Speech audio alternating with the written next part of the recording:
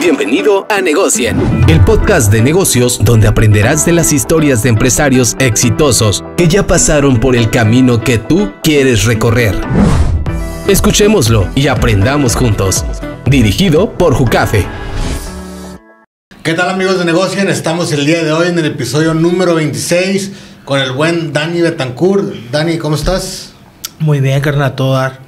Qué bueno, un gusto tenerte por acá. Para empezar, me voy a aventar tu introducción para que te vayan conociendo. Digo, de entrada, pues ya sabemos que el que anda en la industria gastronómica, pues te conoce al menos acá en Tijuana, ¿no? ¿Quién no te va a conocer? Y pues bueno, voy a empezar con la introducción si me permites. Tenemos aquí al chef Dani Betancourt, que es egresado del Culinary Art School. Se desempeñó durante su formación culinaria en las cocinas de México, Sudamérica, Estados Unidos Nominado en el 2018 como Chef Tendencia y 2019 como Restaurante del Año en el Galardón Gastronómico de Baja California. Actualmente eres director de Peregrino Group con marcas como Cafecito. Acá traemos el cafecito, por cierto, gracias. Eh, Peregrino Catering, Anona Productos y Cocina Local. Además, eres director de la zona norte del país de Cocineros de México, miembro de la Comisión de Jóvenes Empresarios CANIRAC, consejero en el Consejo Estatal de Jóvenes Empresarios de Baja California, creador de contenido digital también en Cocina Local, en San Diego Red también para distintas plataformas.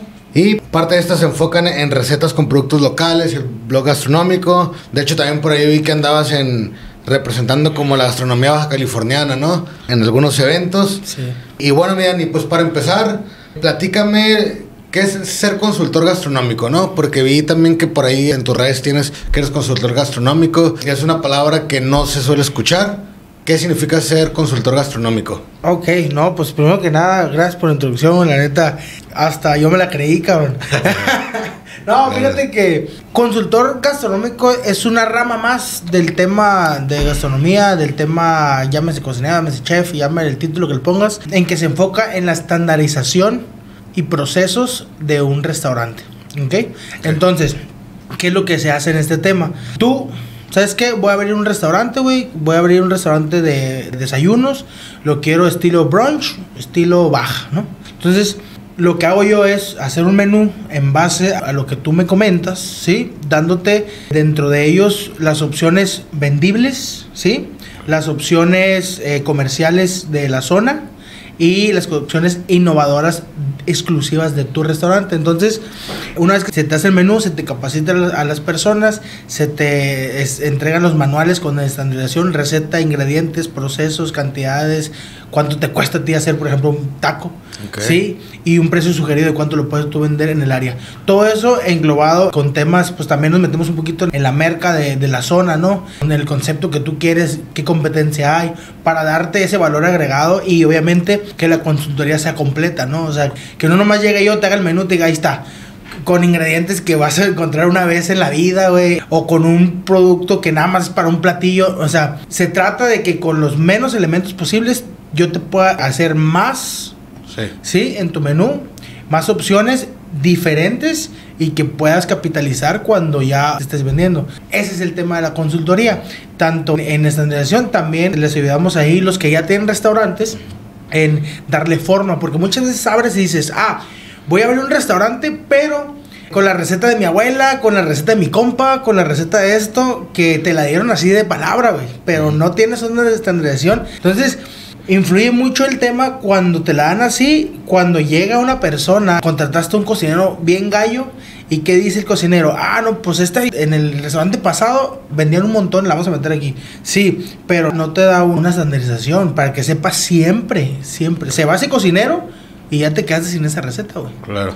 Entonces, con el tema de consultor gastronómico, eso es precisamente lo que se hace. Es una estandarización de todos los procesos y manuales para que tú como restaurantero tenga la certeza de que cuando va una persona y come el, día 1, el día 35, el día 60, el, al año, dos años, siga sabiendo igual que el primer día. Que la experiencia que sea siempre la misma. Exacto. Entonces, ¿este es un servicio, o sea, normalmente lo haces antes de abrir, digamos, un restaurante o también puede ser durante la marcha o en tu experiencia cómo ha sido? Regularmente es antes. Es antes porque me gusta mucho tomar de la mano el concepto para darle identidad al menú y que tenga coherencia y lógica tanto el concepto, la ambientación y la comida. Ok. ¿Sí? Entonces, no estoy peleado porque lo he hecho también cuando un restaurante ya posicionado, como te menciono ahorita, llega y me dice, oye, güey, la neta, quiero estandarizar todo este pedo, porque tengo un desmadre, vendo, sé que está bueno, pero no sé cuánto le pongo, le pongo un puñito, sí, pero ese puñito son 30 gramos, güey, ¿sí? Y en costos, de repente hay que sacar a balanza también de decir, aquí se me está yendo merma, aquí se me está yendo dinero. Entonces, a lugares que ya están en operación, también se le hace esta estandarización, inclusive la innovación. Ah, sabes que quiero sacar nuevos platillos. Ah, ok, entonces ahí ya también le entramos. O sea, Fíjate, está súper interesante. Yo creo que es un servicio que muchísimos lugares en Tijuana lo necesitan, sobre todo los más informales, ¿no? Porque hay muchos changarritos, como tú dices, no, pues que traigo la receta de mi abuela y, y a lo mejor está muy buena, ¿no? Pero puede que ni siquiera el negocio esté dando lo que podría dar porque pues no saben cuánto les cuesta hacerlo, no saben cuánto lo deben de vender. Todo eso también no... O sea, ustedes hacen también una sugerencia o eso ya lo pone la persona. Por ejemplo, de los costos. No sé cuánto debería ser un costo, por ejemplo, en un restaurante. se hace una sugerencia en base al concepto, a la zona y lo que estés vendiendo, güey. O sea, si el platillo me sale 5 pesos, pero estás en la zona dorada, no lo vas a vender en 10, güey. Ok. Muchas veces lo venden en 30, en 40. Sí. ¿Sí me entiendes? Entonces, uno se le da el sugerido para que te salga el margen de ganancia, la utilidad después de gastos, pero ya es a criterio tuyo qué tanto movimiento le quieras dar al platillo. Y no te creas, güey. Me ha pasado desde changarritos hasta en- una vez aseguró una franquicia de transnacional conmigo, güey. Para decirme, oye, ocupamos cambiar el menú, bla, bla, bla, bla. Ah, Simón, fui la chinga. Los proveedores que tenía, no mames, la neta sí me quedé, no chingues. Ya no está aquí, güey. Ok, Porque eran muy malos, muy caros, muy baratos, ¿o qué? Es, eran malos proveedores. Ok. Sí, entonces, un lugar con tanta inversión, le estaban fallando en el tema de la comida. Ok, pero en el sentido de la calidad, ¿eran malos o qué? Uno era la calidad, sí, y dos era la dimensión de ingredientes que tenían un chingo de inventario, un chingo. Ok. Y cuando tienes muchísimo inventario, güey, el margen de merma es altísimo. Ok. Es altísimo porque había, como te menciono, había ingredientes que nada más era para un solo platillo. Y si ese platillo no se movía, Sí. y si el ingrediente es perecedero, lo tienes que tirar, güey. Ok. Entonces, entre eso y en- entre que sus proveedores no eran de la mejor calidad, la neta, se me acercaron y les dije, ok, así está el rollo, se va a hacer, esto es lo que yo te sugiero. Obviamente tú también sabes, güey, ¿sí me entiendes? Sí, o sea, claro. si se acerca un emprendedor que quiere abrir y que la neta es, es el esfuerzo de mi Trabajo. de mi trabajo, le chingada, lo apoyas y a huevo. Yo soy partidario de que hay que apoyarnos entre nosotros. Claro. ¿sí? Pero si llega una franquicia in- internacional, güey, y todavía te quiere decir, no, pues regateándote, que le dices, ay, no me chingues, güey. Sí. Yo sé que lo que te voy a cobrar lo vas a recuperar en una hora, güey, dos horas, ¿sí me entiendes? Claro. Tampoco seas abusivo. Entonces, es- al final no trabajé con ellos, güey. Ok. Porque no quisieron, uno, aceptar la propuesta, dos, estaban aferrados a ciertas cosas que uno como experto en el área le sugiere modificar. Y no es por agüero, agüero pero pues ya no están, güey, aquí. Ok. Ya, no están. Sí, Entonces, sí. pues o te adaptas o no te adaptas. Y aparte, era replicable, güey. Ok. O sea, ¿cómo sé yo que lo que yo meta aquí no lo vas a meter después en otra ciudad? Claro. Y ya nomás pagas una vez, ¿no? O sea, también es- ahí es donde aplica la balanza, güey, Sí. el término justo, ¿no? Sí, fíjate, e- ese servicio está súper interesante. Yo creo que cualquier restaurante lo tendría que tener, ¿no? Cualquier changarro de comida, ¿estamos de acuerdo? Claro. O sea, debería de saber. Y hay un gran porcentaje, pienso yo, que no lo tienen. Y creo que también ese puede ser un motivo de fracaso, ¿no? O de los principales incluso. Claro. Pues definitivamente para saber tu punto de equilibrio, ¿no? Exacto. ¿Cuánto estoy vendiendo? ¿Cuánto estoy gastando? ¿Y cuánto es mi margen de utilidad, güey? Oye, y normalmente se maneja en, en esos costos. O sea, metes lo de luz, agua, renta, o normalmente la regla no es meterlo, es separado. No, sí entra. Sí. Todo, todo, mano de obra, todo tiene que entrar ahí, güey. O sea, si, si tu coste del taco es de 25 pesos, ya contemplaste todos los servicios para hacerlo, desde el gas, el cocinero, todo. Eh, ok, ahí va. El gas, sí. Ok. Ese tipo de gastos, sí. Pero, por ejemplo, la mano de obra, eso no, eso se, se aplica. Muchas veces puedes aplicar la regla de tres, güey, como cualquier producto. Ok. Sí, donde pues, el costo, lo que te sale, lo que la producción y el indirecto y, y ya, ahí sacas tu costo de venta, ¿no? Pero tiene que ver mucho, para que sea más real, tiene que sacarse el costo en base a los insumos que dice la receta. Después le sumas el porcentaje de lo que gastas en el gas, en el gastos indirectos, gas, ok. luz, agua y luego la mano de obra. Y ya al final ya sacas el margen de utilidad y ya sacas el costo de venta. En promedio, ¿cuánto es un margen de utilidad decente? O sea, o igual si quieres dame un rango, como para que alguien que tenga un restaurancito, que quiera abrir uno, pues tenga una idea, ¿no? ¿Cuánto? Pues es que eh, influye un chingo en Sí, dónde estés, güey. En, dónde, en, dónde, en dónde estés parado y qué vas a vender. Pero por lo regular, los expertos dicen que andan en- entre el 30 y 30, 35% más o menos. Ok. Eh, O sea, ese debe ser tu costo. O sea, si lo vendes en 100 pesos, debes invertirle 35. O al revés. Al revés. Ok. Ese es tu margen de utilidad. Es que es muy variable. Ok. En unos le vas a poder sacar, en otros vas a sacar más. Porque pues no es lo mismo vender, por ejemplo, un taco de asada a un taco de vegetales, ¿no? Claro. Pero tampoco puedes desnivelarte tanto, güey. Tienes que compensar también la parte. Porque no puedes tener un taco de 40 pesos, un taco de 80, un taco de 70, un taco de 100. Ok. ¿Sí? Tiene que haber un equilibrio de más o menos 10, 15% entre cada platillo para que también no sea de que, ah, nomás voy a llegar y voy a pedir más vara porque la neta está bien bueno. Sí, claro. Sí, ahí el restaurante ya se chingó porque pues, y luego Sí. yo Oye. también quiero vender el caro, güey. Claro. Entonces, Oye, a ver, ahorita que dices eso, mencióname así como tres ideas.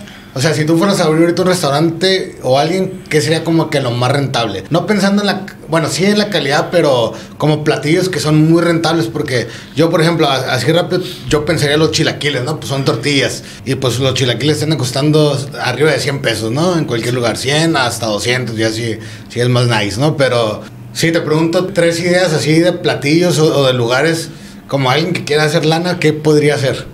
El café, güey. Ah, café? No, se- se- no, no, se el- vale. es, es noble, es noble. No, pero mira, el desayuno siempre te va a dejar un buen margen, güey. El desayuno, porque vendes tortilla, vendes huevo, bueno, huevo de repente se va medio loco, pero vendes tortilla, vendes alguna salsa Ok. y de ahí sacas varia- mil variantes, güey. O sea, cualquier tipo de desayuno prácticamente. Cualquier tipo de desayuno. Esos son de los que muy buena utilidad dejan. ¿Qué otro concepto? La pizza, güey. Ok, ah, Pizza es agua y harina, güey. ya.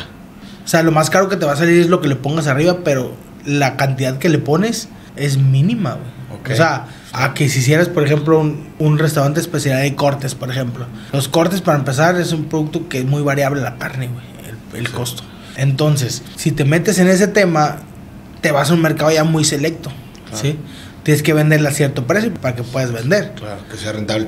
Ok, fíjate, ahí me surgió otra duda ahorita que decías, ¿cómo le hacen cuando tienes productos, bueno, poniéndole ese ejemplo que ponías que la carne, no, pues es que hoy te puede costar el kilo, no sé, 100 pesos, pero mañana se puede subir a 250 y luego te baja. Sí, sí, o sí. sea, ¿cómo le haces para definir esos costos, ese precio? O sea, ¿te, te vas a una media del año pasado? ¿Qué onda? Tienes que conservar una media de un promedio de costo, ¿no? Sa- sabiendo que, que va a haber inflación, ¿sí? Al final del día y que va a estar variable ese precio. También tienes que ponerte a analizar, güey. O sea, para que suba el valor de un producto, influyen muchos factores. Y muchas veces no son directos, güey. O sea, una guerra, pum, pasa, y dispara todo, güey. ¿Sí entiendes? Claro. O pasa esto, pum, se va para arriba. O, o baja. Sí. Entonces, ¿qué es lo que recomiendo yo? Que hagan menús de temporada. ¿Sí? Ok. Entonces, ¿qué es lo que pasa aquí? Que vas a tener un producto que siempre va a estar estable, un precio constante y producto fresco. Ya. Sí, pelado. Ok, no, qué chingón. Oye, Dani, hace rato mencionabas la regla de los tres no sé qué. ¿Qué regla era esa? La regla de los tres. Bueno, es que ahorita dijiste, cuando te estaba Ah, los... pues la regla de tres. Lo que Ah. te sale, multiplícalo por tres, güey. Ok, ¿qué? Ah, ok, y ya sacas ya. El, el costo del precio de venta. Ok, eso es como un básico, ¿ok? Es como un básico, los emprendedores van a hacer clic porque es como un básico de para sacar tu para cuánto vender, ¿no? Porque ahí, ahí le sumas todos los gastos indirectos. Ok. ¿sí? Gasto directo es lo que tú compras para transformarlo en el producto. Gasto indirecto es lo que utilizas que no, no es tan como el gas, el agua, este, la mano de obra. Ok. ¿sí entiendes? Ese es el otro gasto que... El gasto directo es la tortilla, la salsa, la crema, ta, ta, ta. Ok. Entonces, muchos aplican esa. Y en otros productos es lo mismo, güey, o sea, Sí. no sé, haces una salsa, ya sacaste cuánto sale, ah, pues multiplícalo por tres, ver cómo anda el mercado. Es como la forma más huevona Sí. de sacar el, el precio de venta. ¿Pero es efectiva o no? Muchas veces sí, güey. Sí, ok. Muchas veces sí. Ya. Oye, Dani, entonces está súper interesante todo eso, o sea, porque cualquier persona que esté pensando en abrir un changarrito, pues yo creo que todos esos tipos debe tomar en cuenta, ¿no? Yo no conocía mucho de eso, ya tuve un changarrito ahí de comida en algún momento, Sí. unos mariscos, y, hay muchas cosas que me están haciendo clic, como que, ah, pues por eso quebraron, ¿no? Sí, pues es que la estandarización, procesos y manuales es la base de todo. Sí. La neta. Claro. ¿Por qué crees que las maquilas le invierten tanto en sus procesos y manuales? Claro. Porque ahí es donde realmente sabes cuánto estás perdiendo Sí. y cuánto estás ganando también, güey. Correcto. Cuánto te cuesta hacer las cosas. Todo esto lo hiciste bajo qué marca? Porque tienes varias, o sea, ¿cuál representa esto en la consultoría y Está- ese está en el tema de personal Ok. de Chef Dani Betancourt. Ok, Chef como- como Betancourt. personal. Así es. En Peregrino, Peregrino empezó como un restaurante. Bueno, como eventos primero. Ok. Después fue restaurante. Pues estuvo nominado en el ahí que mencionaste, 2019 creo. Estuvo en el, como junto con La Justina, junto con La Churrascaría, junto Ok. con Lugar de Nos, o sea, estuvimos ahí en la contienda de los cinco y en un año y medio. Ok, ¿qué variables toman para los nominados esos? Ahí es criterio de Canirac. Ellos son los que deciden quién, que en base a votaciones. Creo que en ese entonces fue a votaciones, Ok. si no me lo recuerdo. Que la gente y expertos nominaron a los, restaurantes que cumplían con los parámetros que ellos tenían. Ok. Y en base a eso ya el ganador creo que se decidió por votación. o algo, así, la neta no me acuerdo muy bien. Sí. Pero pues ahí quedamos. Y la neta, pues fue muy elegante, güey. Y también te motiva a, seguir presionándote, ¿no? Claro. Pero llega pandemia y vámonos a la fregada todo. Eh, ahí tronó. Ahí tronó. Y tronó, pues obviamente por el estrés más que nada, ¿no? El estrés de aguantar, porque ya eran dos sucursales, güey. O sea, eran tres sucursales. Ok. Era Peregrino normal y Peregrino Express, que eran dos más. ¿Qué concepto tenía el lugar, perdón? Era desayuno, brunch, y en la tarde era. era, pues, yo lo, lo denomino de autor y un estilo calibaja, ¿sí? Ok. Californiano, Baja California, productos de baja, estilo mezclas gringas y de acá.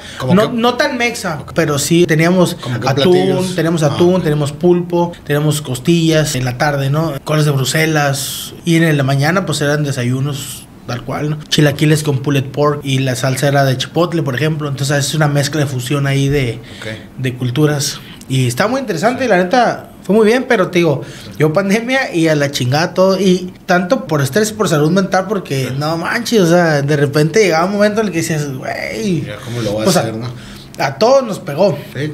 Y entonces ya después lo migramos a puros eventos. Ya tenemos varios clientes, la neta. Y lo enfocamos más a empresas, ¿sí? En tema de ambi- ambigú, Que es como los canapés. Cuando vas a un cóctel, Sí. que te ponen la mesa de canapés y, o pasa el mesero con canapés. Este, Nos enfocamos mucho en eso. O cuando tienen eventos, las empresas de aniversario o evento de presentación de algún producto. Así, nosotros nos contratan para ese tema del, del catering. Ah, ya. En, con Peregrino lo manejamos así. Banquetes solamente de 5, 6, 7 tiempos.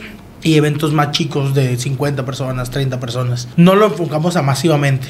Ok, no como bodas y todo eso. No, no, la, net- la neta no. Uno, porque no es el concepto. Es como darle. eh, es, es un catering un poquito más especializado. Ok. eh, un poquito más de calidad, ¿sí? Entonces por eso nos enfocamos más al tema de tiempos y el tema del catering de ambiguos, de coffee breaks y, y así, ¿no? Entonces Ok. este, nos enfocamos mucho en la estética, que se vea bonito, que sepa bueno. Así continuó Peregrino Catering. Ok. Y también el sector maquilador industrial, también ahí de repente le- les hacemos ahí, Para eventos también. para eventos ahí. Ok. Ya. Pero más para empresas. Y luego ya viene este que acabas de inaugurar, que es el cafecito, ¿o cuál? El cafecito es. Dentro del grupo están los sazonadores. Que eso empezó con sal de mar. A mí me gusta cocinar con sal de mar, güey. Yo no uso Ok. sal de la. Esta Sí, de la refinada. comercial, sí, la no, yo no. Ok. toda- llevo como unos 12, 13 años usando pura sal de mar. Y la sal de mar. Te va a escuchar medio malinchista, güey. Pero no es la de aquí baja, es la de Colima, güey. Ok. Porque pues hemos probado muchas sales y la neta esa esa se diluye. De repente cuando te metes en el mundo de la sal, Sí. en el mundo de algo, güey, en Sí. especial, Sí, pues. empiezas a conocer y dices, no mames, está bien perro. Ver los detalles y todo. Pero a, a ver, vámonos un poquito más para atrás. ¿Cuál es la diferencia entre una sal refinada y una sal de mar, no? Ok, el- los procesos, la obtención del producto, por ejemplo, la sal de mar. La sal de mar, ¿cómo surge? Se hacen unas piletas, como unas albercas, güey. Ok. se deja secar la... Tiene que tener, uno, el clima, tiene que tener el sol indicado, tiene que estar un microclima eh, especial para que se pueda dar eso. ¿Qué es lo que hacen? Se ponen las piletas con unas pinches lonas, se avienta el agua, se deja ahí que se seque y de repente empiezan a cristalizar todo lo que es oligoelementos, ¿sí? Que es todos los minerales, güey. Empiezan a hacer la cristalización y así es como surge la que es la sal de grano. Hay dos tipos de sales dentro de la misma sal, güey. La flor de sal, que es una capita que se hace en la superficie, que es súper finita, güey. Esa la recogen con sedazos, como los de la alberca, cuando para limpiar la alberca.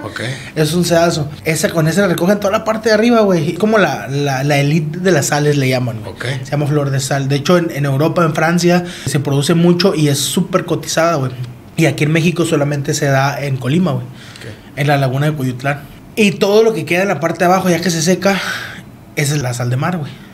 ¿Y, en cuestión de sabor, ¿cambia o es solo la textura? O... Cambia un chingo el sabor. Cambia un chingo el sabor porque la sal de mar, güey, lo que hace es de que intensifica los sabores y no sala, sino que sazona. ¿Sí me entiendes? Ok. La sal de mar lo que hace es mezclar los ingredientes que resalte los sabores de la carne, del pescado, ah. del marisco. Que no pruebes algo y digas, ah, la madre está bien salado esta madre. Sino que lo pruebes y dices, ah, güey, está, está sazonado, güey. Oh, ¿Sí me entiendes? Sí. Es muy diferente. Entonces, la sal de mar es lo que hace. Pero hay de sales de mares a sales de mares. Está la que es del grano súper duro, que esa más es una piedra, lo muerdes y te rompe un diente, güey. Pero está la otra sal, por ejemplo, esta de Colima, que tú, la, tú agarras un granito, güey, te lo echas a la boca y se te diluye, güey. Ok. Entonces, esa es una buena sal de mar, güey. Y aparte, el, secado es al sol, güey. O sea, ya que sacan esa madre, arman unas montañas y empieza a secarse con el puro sol. Sí. Y luego ya la empiezan a envasar. Que de repente. es un proceso súper natural, súper natural. Y aparte, es baja en sodio, güey. Okay. O sea, la pueden consumir, y sí, hipertensos, diabéticos, un chingo de raza. Nosotros lo conocimos así porque en la familia, pues hay diabéticos, hipertensos. Y así la conocimos, es esa sal, güey. Y me hice promotor de ese tipo de sal. Una marca después me contrató para ser su em, chef embajador. Ahí conocí todo el pedo, todo el proceso. Me gustó, me enamoró y empecé a hacer combinaciones de sales sazonadas, güey. Okay que la sal que para el pescado, que échale hierbita de esta, esta, esta, esta, que para la carne échale esta, esta, esta, esta, que para la fruta una sal con jamaica, que parece, y así es como nació Anona, que esos son productos naturales, que son varios productos, pero el principal es la sal. Ok, y esos productos, o sea, tú los, los, vendes, los distribuyes. Sí, sí, sí, sí, sí, estamos en, en seis estados. Y puntos de venta, pues no son muchos, pero está en constante crecimiento. Ese proyecto empezó en el 2020. Y estamos en constante crecimiento. Ahorita ya estamos en pláticas con unas cadenas. Ahí para meterlo. Pero te digo, este. Pues no es fácil, güey. no, es nada fácil, güey. La neta, otra vez platicaba, pues con varios. Ahí, la neta, quien me ha echado mucho la mano en el, tema, al principio, cuando recién inicié con ese proyecto, fue el Huicho, güey. Pues el Huicho ya traía recorrido con la salsa la perrona. Ya traía él como un año no llevaba mucho, llevaba como un año. Y el güey me dijo, pues vela haciendo así, así, así, güey. Y así, güey, escuchando a los que ya tenían tiempo, así fui empezando a pulir que el empaque, que esto, que el otro, que la etiqueta, que te paso el contacto de este güey. Pero los de compras, hijos de la parecen. Yo que están más cabronas que los dueños del mismo lugar, güey. Porque te muchos requisitos. No, no, no, porque se ponen bien, se ponen bien intensos de repente. O sea, este. Pues es que ellos son los que autorizan, güey. Claro. Sí, te estoy hablando de cadenas grandes. Ok. Ellos son los que autorizan y dicen qué producto entra qué producto no entra. Entonces, pues, son los que tienes que enamorar, güey. Sí. Y a veces, pues son, difíciles, son huesos difíciles de roer, güey. no, y, me imagino también que han de llegar de cada producto 50 proveedores. Imagínate, güey. Entonces también va a ser la cara contenta a todos, pues está cabrón, güey, la neta. Y hemos ido a expos hace dos años, no, el año pasado. Fuimos a la expo, una bien grande que se hace a nivel nacional en Guadalajara, se llama Expontat. Y ahí están todos, güey. Están los de Chedra, güey, los de Calimax, los de Soriana, los de. Todas las cadenas grandes a nivel nacional, Casaley, güey y te dan mucha retroalimentación, güey. Hay güeyes que te dicen, ¿sabes qué? La neta, tu producto en mi cadena no se va a vender, güey. Porque la neta yo voy a un mercado así y porque el empaque es así, así, así. Okay. Entonces, bueno, pues ni pedo, ¿no? Entonces, ¿qué dices? Como pinche tiburón, ¿no? Pues saca un empaque que se vea más para ese sector, ¿no? Claro. Y ahí le estás buscando, pero todo es lana, güey, todo es inversión, todo es meterle. Pues A veces dices, hijo de su pinche madre. Pero pues ni modo, así es esto, ¿no? Ahí nos metimos y pues hay que seguirle sacando a flote el barco, güey. Claro. Ok, no, pues está súper interesante todo eso de Anona. Me gusta mucho eso también que dices de la mentoría, ¿no? Que le estás preguntando a los camaradas, que de hecho, pues como bien sabes, ya estuvieron algunos aquí y es clave, ¿no? Para el crecimiento. Dani, quiero pasarme ahorita a tu último proyecto, que es el cafecito. Platícame de este proyecto, cómo inició, por qué café o qué onda. Pues mira, Cafecito inició apenas hace poco, operaciones hace escasos dos meses. Fue en junio, en junio, abrimos en junio. Aquí en Tijuana, en Otay, fíjate, es una zona que yo le tengo mucha fe. Es, es una zona que está en crecimiento constante y aparte tiene mucho flujo de personas, o sea, mucha gente. Está la garita de Otay, está el aeropuerto, está la UABC, está el TEC, o sea, tiene mucho flujo y, y más donde está ubicado porque se puso precisamente en la pura subida de la central caminera como si fuese al aeropuerto. En cuanto subes del lado derecho, ahí está el cafecito. Pues obviamente es un café, no es como que luego sacar el hilo negro, algo que ya hay, ¿no, güey? Café, no, sí nos enfocamos en encontrar una mezcla de la casa, una mezcla que nos gustara y que le gustara al, que sepamos que iba a gustar al gente, ¿no? Al comensal. Entonces, sí le, sí le tardamos ahí un buen rato en conseguir esa mezcla. El grano que se eligió es el grano de Veracruz y el grano de Guerrero. Y no te voy a decir los porcentajes, viejo, porque tendría que matarte. es, es, el secreto de la casa, güey. Es el secreto de la casa, pero, pero ese tipo de granos le dan una acidez neutra y es un café tomable por todo el mundo, güey. Entonces, así es como elegimos ese grano para hacer el café. Y aparte, nos enfocamos mucho en la comodidad, güey, o sea, que sea un lugar que te la pases a gusto, que tenga mucha luz, es blanco totalmente, güey. En cuanto entres, lo primero que ves son unas hamacas colgadas. Tú te puedes ir a sentar y chingar tu cafecito en una maquita ahí, pega el aire súper delicioso, güey. Entonces, hay varios spots súper contrastables, güey. La parte de adentro son sí, es madera, todo es madera, güey. Ahí la onda. Pues tratamos de, Sí, tratamos claro. de encontrar diferentes áreas para que sea instagramable, porque ahorita tú sabes que todo es foto del lugar, foto del producto y se va a las redes y, y retoma. Pues esa es la idea. Pero yo realmente me enfoco mucho en que si se ve bonito, pues tiene que saber, güey. Porque de nada sirve me tocar lugares que de repente digo, no mames, está bien perro todo. Pinche lugar, inversión de millones, güey. Llegas y la comida súper bonita, montada y lo pruebas y dices, no mames. Claro. Sí, tiene que ser la experiencia completa. Que, Sí. que de hecho, ayer con Rodrigo Lario del Truck Nuestro, Ah. eh, platicábamos precisamente de Ah, eso, ese ¿no? güey ahorita está abriendo varios Sí. y la neta le Sí. está pegando también. Sí, ah, pues ayer estuve por acá y vimos esos puntos. Oigan, y fíjate, ya ves que últimamente hay como mucho meme, mucho ese rollo del tema de que en cada colonia, al menos aquí en Tijuana, hay 50 Sí. cafeterías, ¿no? Sí. O sea, ¿cuál crees que es el reto para diferenciarte y por qué crees que puede funcionar habiendo tanta competencia? Porque realmente es un desafío, ¿no? Sabiendo, no sé si es como una oportunidad, ahorita me das tu opinión, si es una oportunidad, como dices, hay, hay tanto mercado que lo que abres va a pegar, ¿no? Igual que las taquerías, ¿no? Yo muy pocas taquerías he visto que fracasan, cafés no sé, eh, tú me dirás, Eh, ¿lo ves más como una oportunidad o por qué este boom de que ya en, en cada cuadro hay dos, tres cafés? E incluso donde pusiste también, ¿no? Hay como tres, tres cafés, si no me equivoco. No, ok, ahí va. Te voy contestando por pedazos porque luego se me olvida. Sí. Ya paso los 30, entonces ya se empiezan a olvidar las cosas. Ok. Mira, el negocio del café es muy noble, güey. Es un negocio de un cliente muy recurrente. El cliente, el güey que toma café constantemente te va a ir 3, 4 veces a la semana. No lo mismo ir por 3, 4 cafés, güey, a la semana a ir a un restaurante 3, 4 veces. No, jamás va a pasar, güey. Entonces, esa es la primera. Dos, a mí siempre me gustó el tema de involucrarme en el tema del café.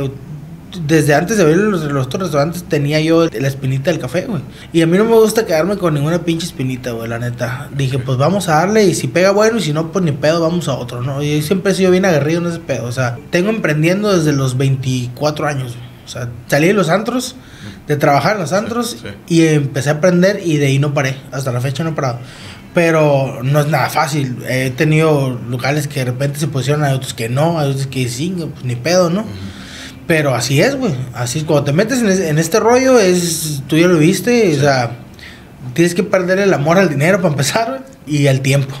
Porque no vas a tener ni tiempo ni dinero Claro. cuando empiezas. Ya después, ya vendrán las mieles, ¿no? Yo todavía no las veo, güey, pero.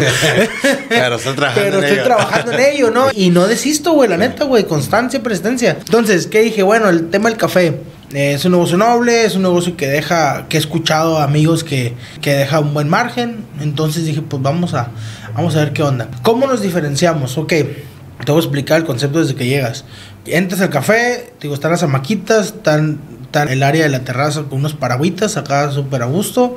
Musiquita, siempre me gusta mantener una musiquita agradable, eh, bossa nova, acá, pero covers, así que que sean canciones que te sepas, pero en otro tipo de... En un video acá relajado. Diferente, exacto. Eh, muchas veces me gusta que me mandan, oye, ya escuchaste este artista que es de local o, o artista, ay, ah, pues ya tiene en Spotify, lo metemos, ¿no? Entonces, esa es la parte, ya entras y agarras el tema de, de ya de la experiencia del café, del postre, del marketing Dentro del mismo café está el, el que es un área donde tenemos a la venta productos de emprendedores locales, güey. Entonces, ahí pues obviamente están las sales, están los sazonadores, están las mermeladas, salsas y es un espacio que destinamos para producto y venta de productos aquí locales, ¿no? Y comestibles todo que tiene que ver con comida. Entonces, el espacio sí, hay bastante espacio. Si hay emprendedores están viendo este video, manden mensaje a cafecito para que lleven su producto. No se les cobra, no es un colectivo, güey, no se les cobra, simplemente nosotros lo pusimos ahí, llegan productos, se les paga su producto y se queda exposición de venta, un punto de venta más para ellos, ¿no? Porque queremos que, que sea una experiencia completa, o sea, que tú llegues por tu café, por tu postre, te sientes, estés a gusto, escuchando musiquita agradable, que estés en un lugar a gusto, con viento al aire libre. De hecho, el local es una casa, güey. Es una casa no era una casa como tal, pero local lo hicieron una casa para el, el que rentó antes que yo. Lo pidió así, güey. Entonces, pues sí lo dejó. Y yo estaba buscando algo así, güey. Entonces, cuando yo dije, no mames, esta madre fue anillo al dedo, ¿sabes? Entonces, precisamente eso, por la comodidad. O sea, ¿cómo te chingas tú el café más rico? Pues en tu casa, güey, a gusto. En el jardincito, si tienes jardín, o en el patio, güey. Al aire libre ese es el concepto que se le dio al cafecito, güey. Y es justo tal cual. Y aparte, tiene esa variedad este, de buen producto, de comodidad. También se destinó un área para una sala de juntas de 8 a 10 personas para todos estos emprendedores que no tienen un espacio físico para llevar a un cliente, por ejemplo, o cerrar un negocio. Tú sabes que emprendedores en los cafés hay un montón. Starbucks está lleno de emprendedores. Claro. Pero no lo mismo, de repente quieres llevar una plática más privada, güey. Y que o rentes una oficina, que te va a salir una lana y a lo mejor no, el cliente no te cierra, no lo cierras, güey. O lo abras ahí con el güey que está hablando de las penas de, su novia, güey, de su exnovia, güey. Sí. Y, y, escuchándote todo el pedo, ¿no? Ok. Entonces nosotros destinamos un área, un, cuarto específico para una sala de juntas que ese se lanza en septiembre, que va a tener su televisión, güey, su, su mesa, sus sillas, todo el tema para que tú puedas llevar a una persona o hacer una junta ahí con lo que tú quieras, ¿no? Y eso lo renta, no es parte del servicio. Eso se renta en dos modalidades. La primera es por la primera hora es por un consumo, depende del número de personas. Y ya después de la segunda hora en adelante ya es una tarifa fija por hora. Sí, pero igual, siempre conservando el tema de lo, de lo justo, ¿no? Tampoco nos pasamos de lanza. O sea, para que tú puedas seguir ahí sin bronca. Al final es un espacio que nosotros tenemos destinado para eso y intentando englobar todo el tipo de experiencias de todo tipo de cliente, ¿no? Porque está el que va a ir a tomar el cafecito nomás para pasar la tarde, el que va a ir a echar el ligue, el que va a ir a hacer una junta o a cerrar un cliente. Entonces, para todo tenemos áreas ahí en el lugar, güey. Me llama la atención porque, o sea, tiene súper claro como cómo debe ser la experiencia 360, ¿no? O sea, pensaste en todo, ¿no? Lo que ahorita que me dijiste, que al final de cuentas, pues es la experiencia del cliente, lo que va a crear el concepto, lo que va a hacer que pues, las personas regresen. Dani, me gustaría regresarme un poco más para atrás en el tiempo. Eh, ¿Por qué decidiste estudiar gastronomía? Antes de que emprendieras ya me decías que empezaste a los 24 años. Antes de empezar en todo este rollo, ¿por qué decidiste meterte acá?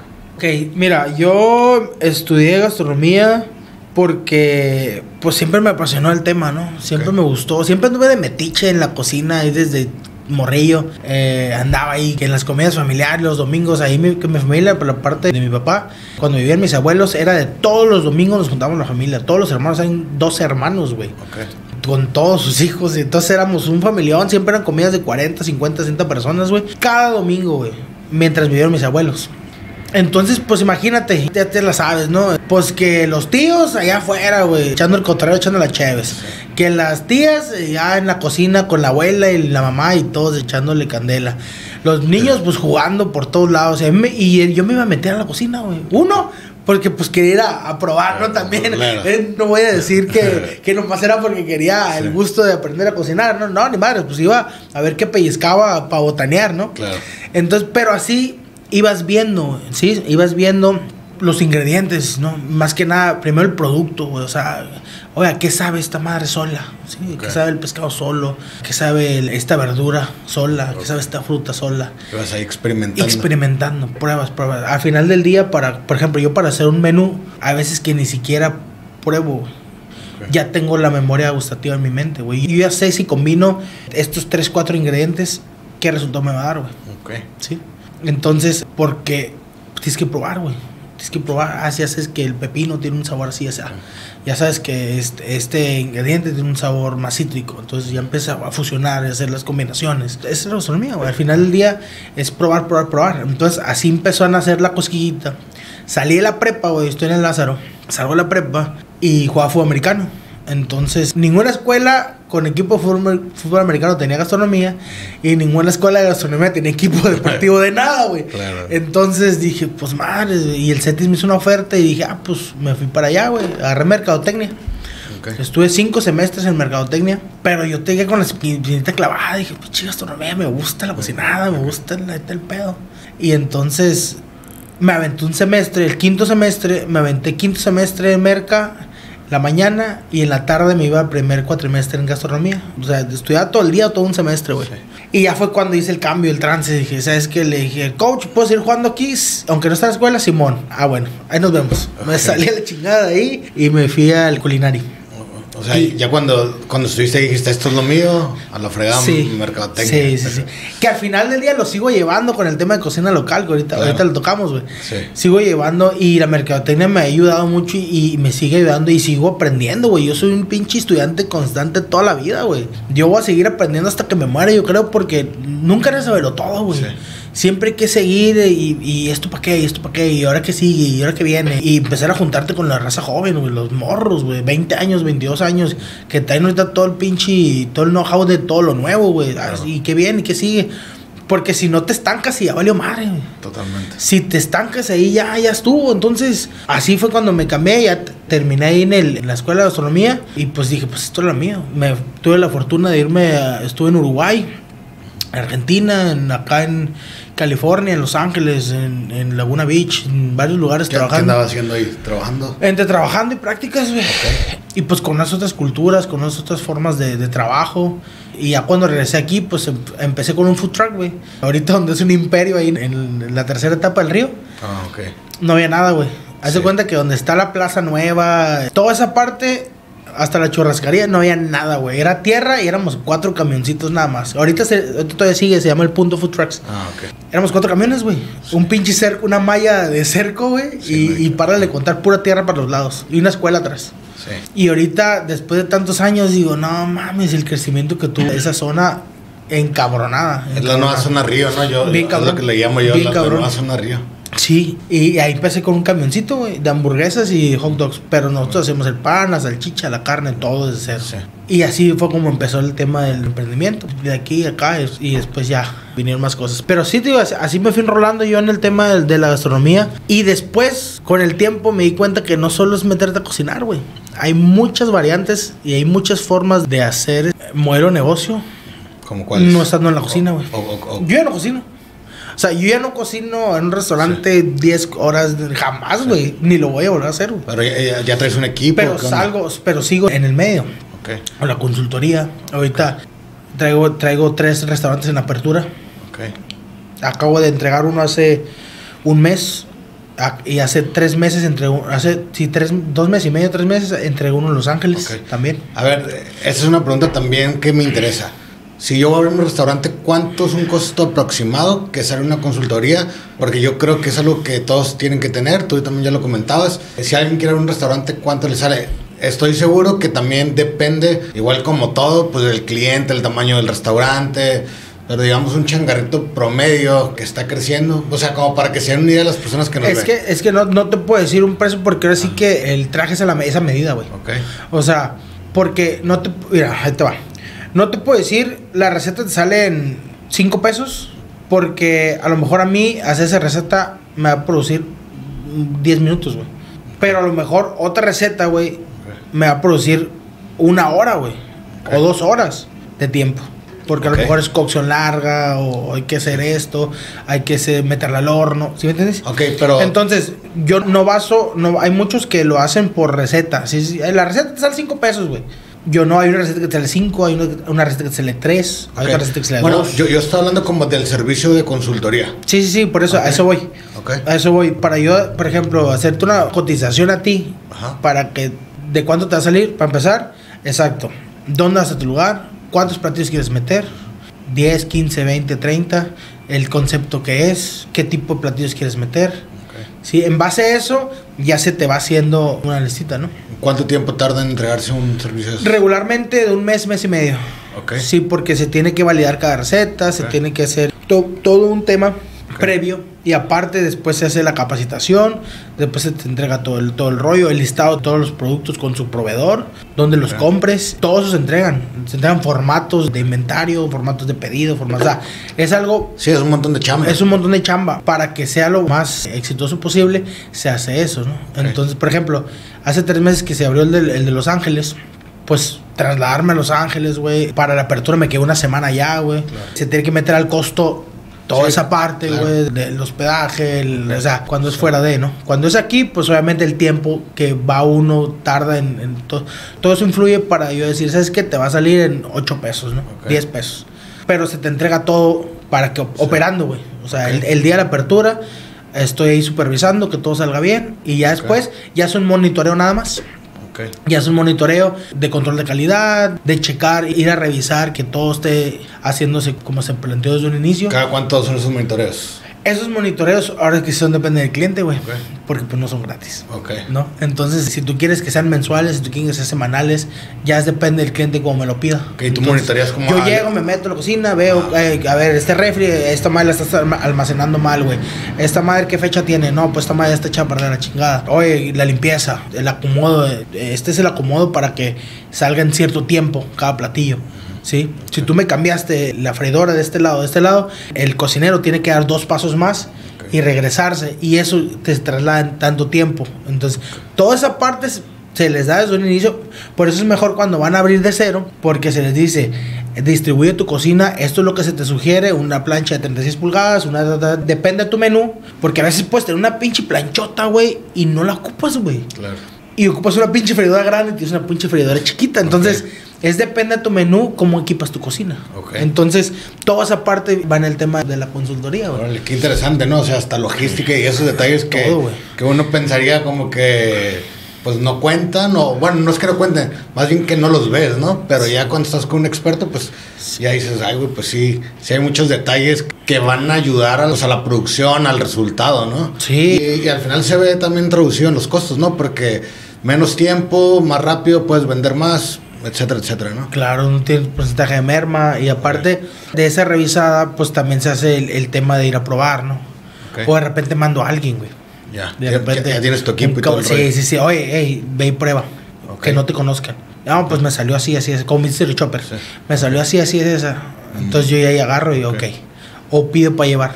Porque también se le da asesoría en Sí. empaque para llevar, para delivery. Entonces me duró tanto tiempo, me llegó así, tomo foto, ta, ta, ta, ta, ta. Entonces todo eso es el post, el consultoría, ¿no? De, Ya que se entregó todo, eso ya viene para después. ¿Qué crees que es lo más complicado de ese negocio? O sea, para ti, como el principal Del- reto. de la- del tema de restaurantes. Sí.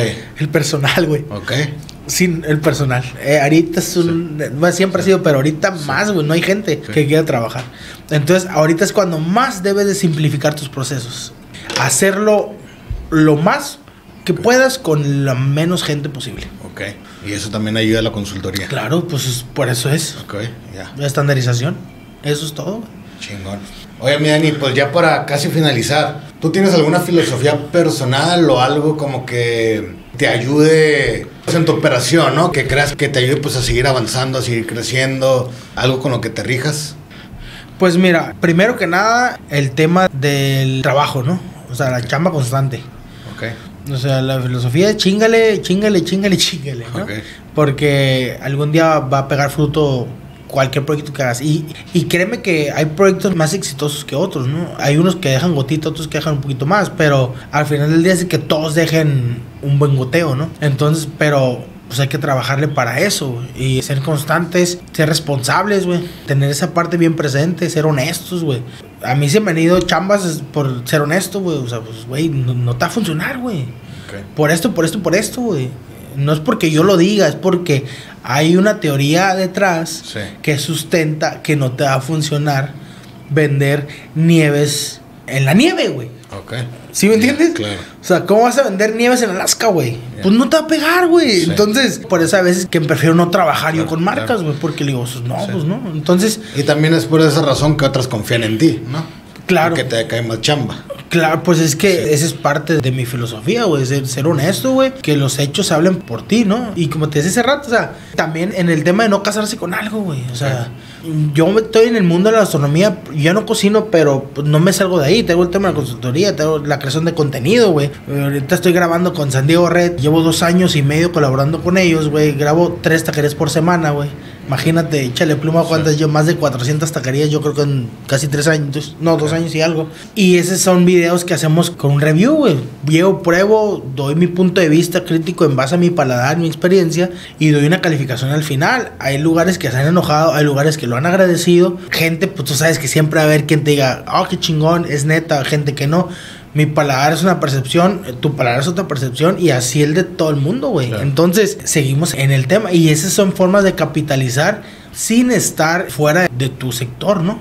Claro. Entonces, las recetas, por ejemplo, también en cocina local, güey, las recetas de, de preparación de, de comida. Acabo de hacer hace seis meses una serie con, se llamaba Sabores de mi Baja. Nos patrocinó Calimax, güey.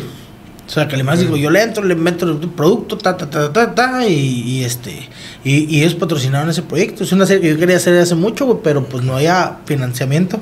Sí. Se plantó y ahora le va. ¿Y eso dónde lo están llevando a cabo? ¿Qué onda? Esa está en YouTube, en el canal de cocina local. Es una serie, Sabores de mi Baja, fueron seis episodios, güey. Nos metimos a cocinar, literal, güey. Traíamos el pickup con la cocina ahí, una barra, y en el otro carro traíamos todo el tema de producción, las cámaras y todo el desmadre. Y nos metimos al Valle Guadalupe, nos metimos en el puerto de Ensenada, nos fuimos, nos metimos en la Rumorosa, la casa de piedra, güey. Qué fregón. Es, nos fuimos al Salar, ese lugar está súper chingón, la neta. Si no han ido, vayan al Salar, está muy perro, está yendo hacia San Felipe, bajando por Mexicali. ¿Y que cocinaban ahí? O sea, compraban. Recetas. Ok, pero Así- compraban ahí cosas como locales o qué onda? O ya llevaban las recetas ya. Nos metíamos a Calimax precisamente a, comprar los insumos Ok. y preparábamos la receta ahí, güey. O sea, yo llegaba y con todos los insumos se ponía el, el set, podría decir, güey, la barra con todo el pedo y el paisaje de atrás era lo que llamaba, güey. O Ok, sea, ya. Grabamos en el desierto, güey, literal, güey. No, de hecho, en ese video nos atascamos, güey. El Picasso atascó. Así que se, fue, se embancó. Fue un pedo, una hora, una hora y media para que alguien nos prestara unas cadenas para sacarlo, güey. No, no fue un pedo, güey. Entonces, Ah, pero muy buena experiencia. no, súper Divertido. perro, Sí. súper perro. Y Entonces- cocinamos ahí, este, hacíamos la receta ahí en, en vivo, ¿no? Pues era grabado. Sí. Pero así, güey. Así llega chido. a hacer la receta, ta, ta, ta, ta, después ya ponemos el plato, de- de- me la comí y ya. Y así nos íbamos a otro, a otro. Nos andamos casi una semana grabando en Órale.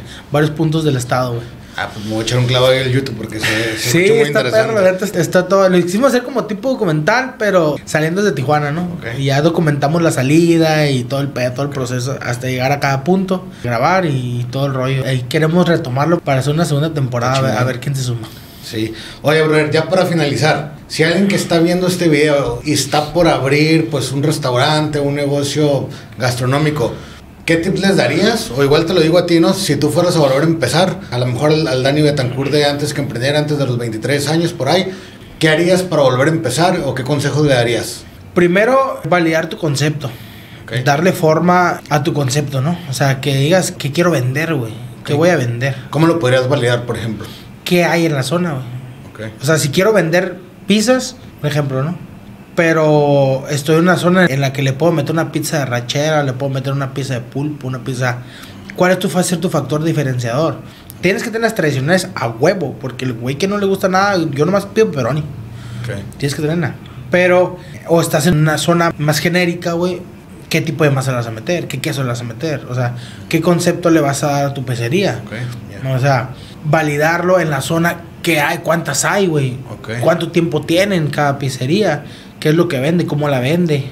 cada cuánto tiempo van a consumirle. Ok, Entonces, número uno, validar el concepto y, Validar el ahí concepto. mismo analizar todo, Simón. todo el tema del mercado.